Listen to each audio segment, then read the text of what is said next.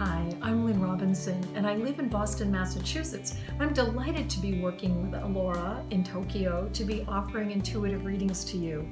I'm a big fan of trusting one's intuition, and I think of it as our inner GPS or our inner compass. And people usually come to me when they're in the midst of change and transition, and they're trying to figure out next steps and they need some clarity.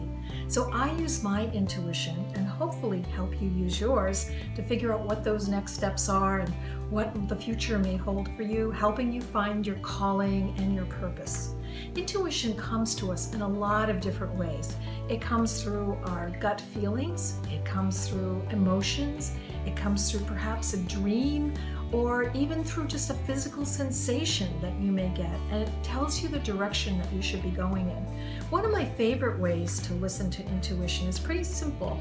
If something feels draining, boring, exhausting, that's your intuition telling you to move away from that, to go in a new direction, or perhaps not go there in the first place.